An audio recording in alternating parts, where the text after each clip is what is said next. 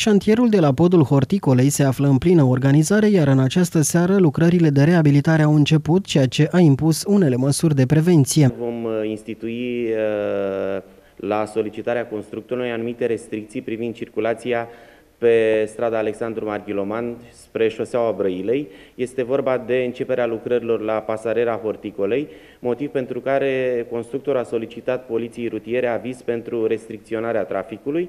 O primă măsură va fi adoptată în această seară, între orele 18-22. Circulația va fi închisă pe strada Alexandru Marghiloman. Vor fi montate indicatoare de direcție de culoare galbenă care îi vor dirija pe conducătorii auto pe traseele ocolitoare către Brăila sau dinspre Brăila către centru și de acolo către celelalte porți ale orașului.